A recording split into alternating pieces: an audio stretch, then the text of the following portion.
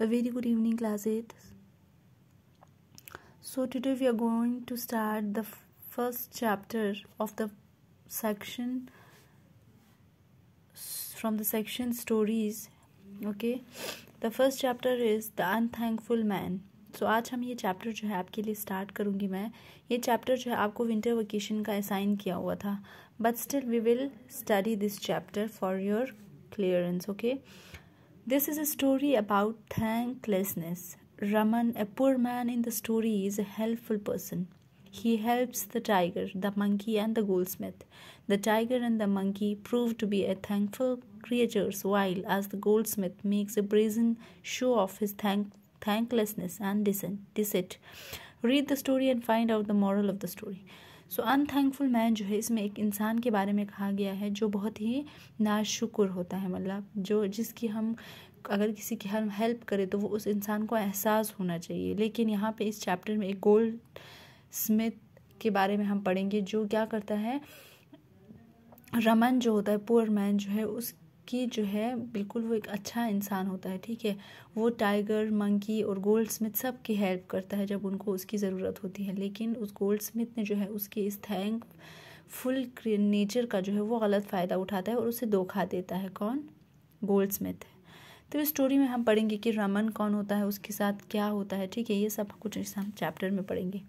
Raman was a poor Brahmin who lived with his wife on the outskirts of a small town Raman एक बेचारा गरीब ब्राह्मण होता है। ब्राह्मण यू नो हिंदूज़ में कुछ कास्ट होते हैं, जैसे ब्राह्मण होता है फिर क्षत्रियास वैश्यास शुद्रास कह के तो उसमें से एक ब्राह्मण आता है, ठीक है? गरीब ब्राह्मण फैमिली से बिलोंग करता है और उसकी वाइफ के साथ वो एक छोटे से टाउन की स्मॉल से छोटा सा टाउन जो होता है, उसके बिल्कुल दूर पार इलाके में एक बिल्कुल आउटस्कर्ट्स यानी फार फ्लंग एक एरिया होता है, वहाँ पे ये रहता है अपनी बीवी के साथ। He was so poor that he and his wife had to remain hungry for days together ये इतने ये बेचारा इतना गरीब होता है, इतना बेचारा पुअर होता है कि इसके और इसकी वाइफ को जो है कुछ बहुत दिनों तक एक साथ फॉर लॉन्ग डेज़ इनको जो है क्या रहना पड़ता था? भूखा रहना पड़ता था क्योंकि इनके पास जो है लाइवलीहुड प्रॉपर नहीं थी, अपना खाना जो है नहीं ये कर पाते थे, ठीक है? मतलब अपना कमा नहीं पाते थे, इनकी लाइवलीहुड बहुत कम थी सैलरी नहीं थी, इनका इनकम फैमिली लेवल बहुत बैकग्राउंड जो है फैमिली का बिल्कुल लो स्टैंडर्ड का था।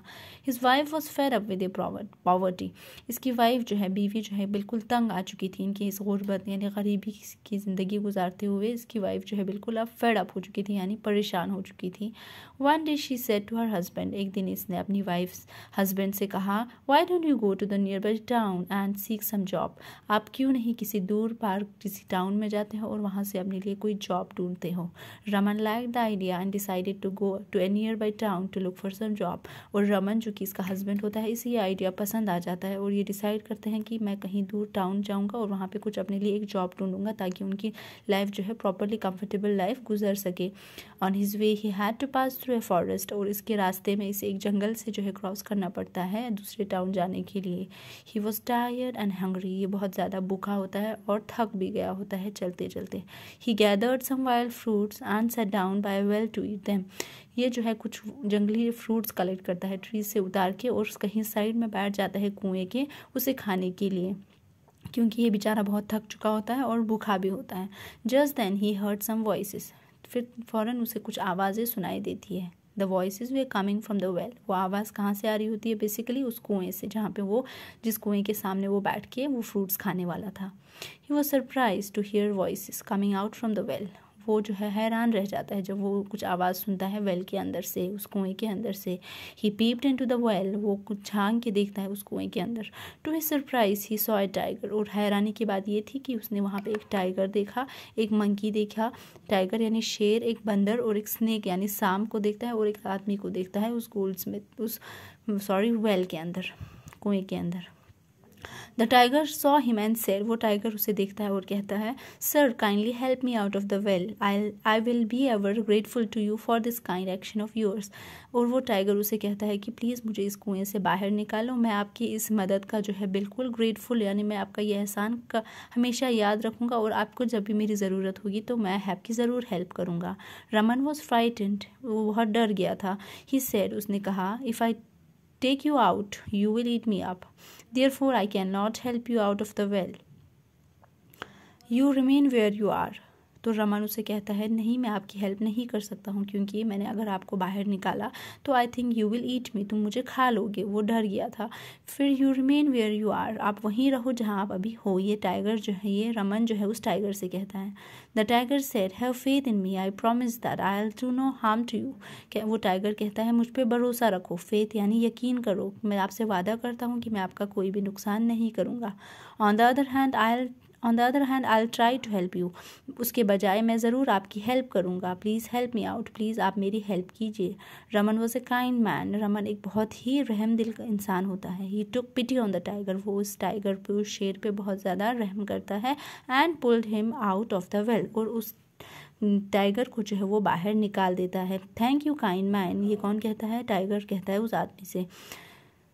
ठीक है? रमन से कहता है कि थैंक यू यार, आप बहुत ही एक अच्छे इंसान थे। Thank you for helping me out the tiger said to him if you ever need my help please come to my cave but you mind do not take that man out of the well he is the most ungrateful creature on this earth तो tiger उसको निकालने के बाद कहता है कि अगर आपको मेरी कभी भी ज़रूरत पड़े तो you can come to my cave आप मेरे गार पे आ जाना, गुफ़े में जहाँ मैं रहता हूँ, वहाँ आ जाना आपको जब भी मेरी ज़रूरत होगी तो. But you mind do not take that man out of the well लेकिन याद रखना कि उस आदमी को जो है कभी उस जो अंदर वेल के अंदर एक आदमी पड़ा है, उसको बाहर कभी नहीं निकालना. ठीक है he is the most ungrateful creature ये आदमी जो है इस दुनिया में से सबसे ज़्यादा अनग्रेटफुल है, यानी बिल्कुल अच्छा इंसान नहीं है, एहसान फरामोश है तो इसकी कभी आप हेल्प नहीं करना, उसको कुएँ के अंदर ही पड़े रहने देना। So saying the tiger went away from there ये कहते हुए वो टाइगर वहाँ से चला जाता है। As soon as the tiger went away the monkey called out to Raman and said जो ही वहाँ से वो टाइगर चला जाता है, वो मंकी आवाज़ देते हुए रमन से बोलता है प्लीज़ काइंड मैन ए रहम दिल इंसान this well is too steep ये वेल बहुत ही कुआँ, बहुत ही ज़्यादा गहरा है, मैं नहीं क्लाइम कर सकता हूँ, यानी आई कांट क्लाइम आउट मैं नहीं चढ़ पा रहा हूँ इससे बाहर। Please help me out please मेरी मदद करो। Raman ready readily pulled out the monkey Raman ने उस मंकी को आराम से बाहर निकाला, आसानी से मान लिया। The monkey also thanked him Raman and said उस मंकी ने भी रमन की को जो है थैंक्स कहा और कहा if you ever need my help और उससे उसने मंकी ने भी उससे कहा कि आपको जब भी मेरी ज़रूरत हो तो please come to the mango tree by the river outside this jungle इस जंगल के बाहर एक मैंगो ट्री आता है, वहाँ पर मैं रहता हूँ। आप ज़रूर वहाँ आ जाना, आपको जब भी मेरी ज़रूरत हो।